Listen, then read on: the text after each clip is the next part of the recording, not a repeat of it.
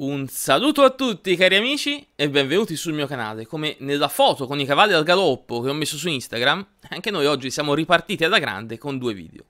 E come secondo video di giornata ho pensato di proporvi questa bella partita del giovane Paul Murphy. Siamo nel 1849 il giovane Paul, che a 12 anni è già un giocatore forte, capace di vincere ripetutamente, con giocatori come James McConnell e Eugene Rousseau ben conosciuti nei tornei. Nella partita di oggi però Paul giocherà contro suo padre Alonso Murphy, importante avvocato di New Orleans. Partiamo! Paul Murphy con il bianco apre la partita con E4, il padre Alonso Murphy risponde con E5.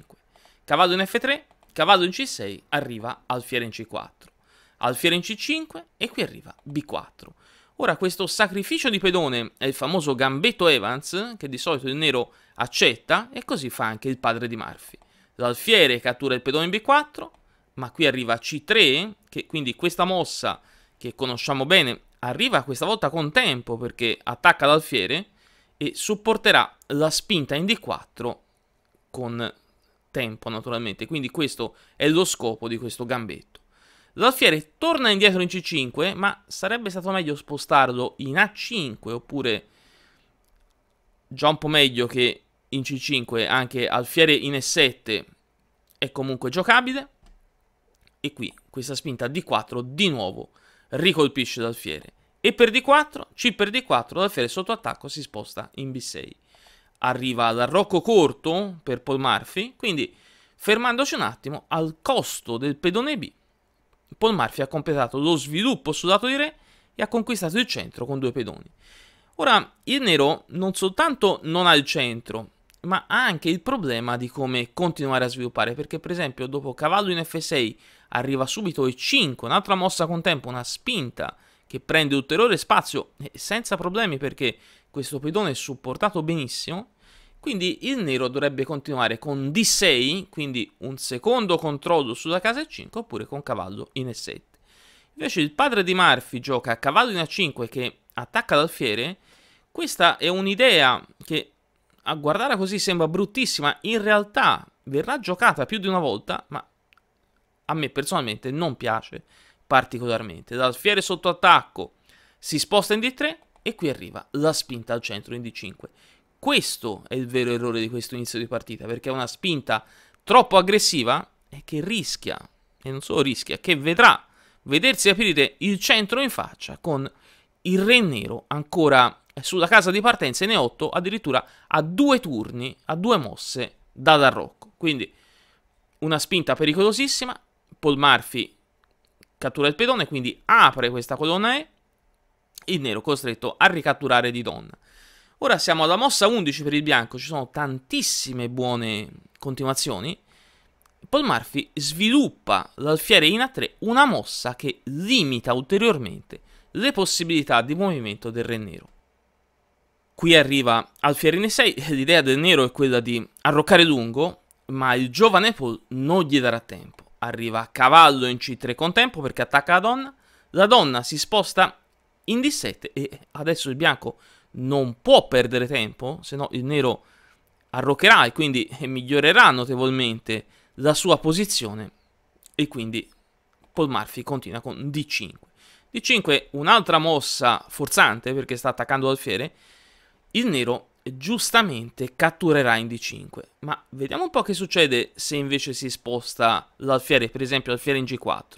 Dopo alfiere in G4, non giocata dal padre di Murphy, arriva torre in E1 con scacco, ora il re eh, si potrà spostare, qui non si può mettere il cavallo in E7, se no arriva lo scacco di torre eh, che vince donna e cavallo per alfiere e torre, quindi il nero può praticamente abbandonare, bisogna spostare il re in D8.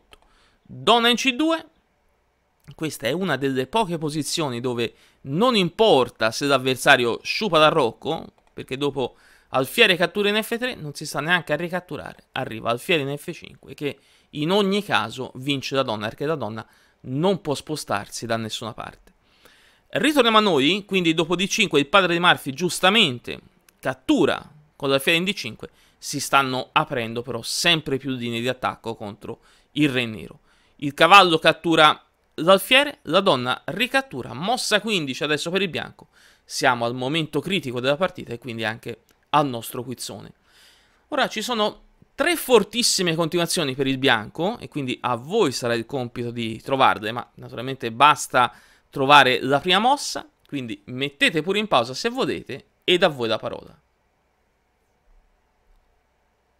Ritorniamo a noi, perché fortunatamente Paul Morphy eh, giocherà di queste tre continuazioni quella forse meno intuitiva, ma per Stockfish anche la più forte, noi invece inizieremo con quella che secondo me è quella più semplice da trovare. Torre in 1 con scacco mi sembra delle varie continuazioni quella più semplice da vedere, il re si deve spostare in D8 e qui arriva alfiere in F5. Ora fateci caso, la donna nera non può catturare in D1, perché dopo donna cattura in D1, la torre ricattura, il re nero non ha possibilità di muoversi, alfiere in D4, unica mossa legale, ma dopo la cattura di torre in D4 è già scacco matto. Quindi, dopo alfiere in F5 bisogna fare posto al re, quindi il nero giocherà C6, e ora bisogna attaccare la donna, Torre in E5 attacca la donna e la donna è quasi costretta a cambiarsi in D1. La torre ricattura con scacco, il re si porta in D6.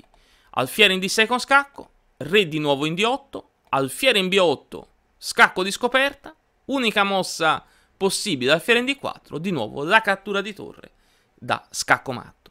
Ritorniamo al nostro momento critico, andiamo a guardare la seconda linea vincente.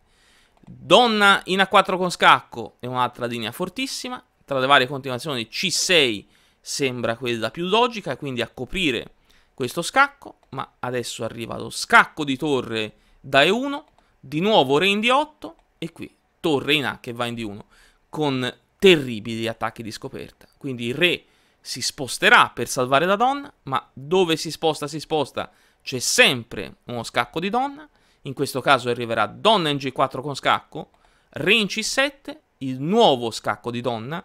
Adesso, in qualsiasi modo, il re nero si deve spostare dove c'è una scoperta che vince la donna, perché se va su casa chiara arriva lo scacco di alfiere protetto dalla donna e quindi la donna è persa. Se il re ritorna sulla colonna D, basta spostare l'alfiere e la donna viene attaccata inchiodata sul re dalla torre.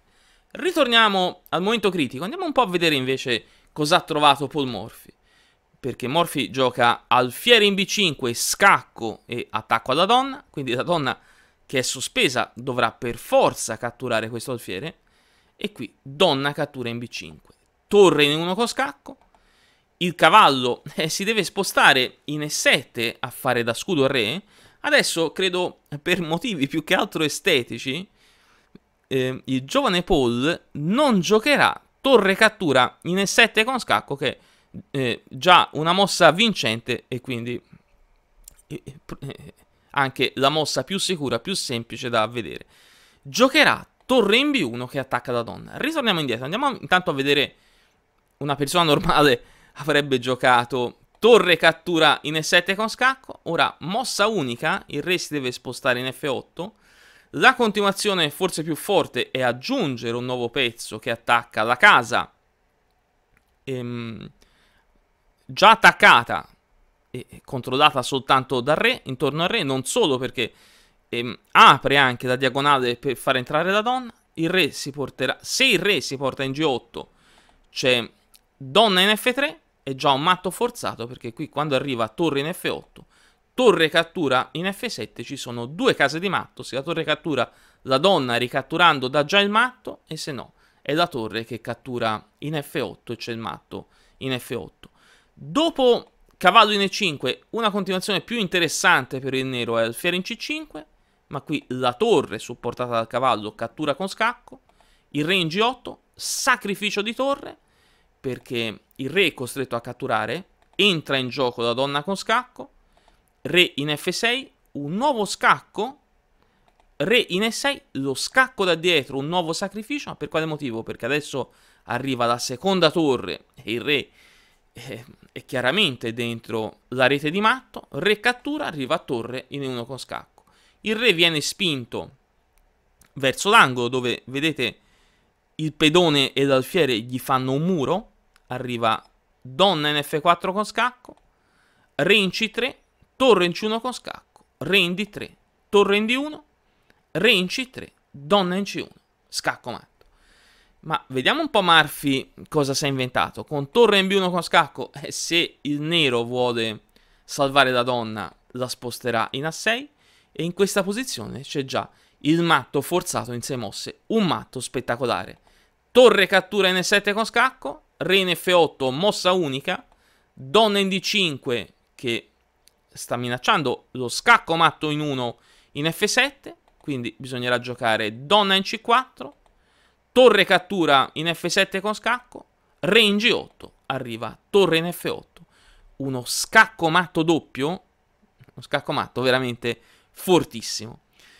Oltretutto un fantastico gambetto Evans giocato da Giovane Paul, io spero che la partita per ripartire vi sia piaciuta, se vi è piaciuta non scordate di iscrivervi al canale, non scordate di venirmi a trovare anche su Instagram dove cercherò di postare un breve filmato del dietro le quinte.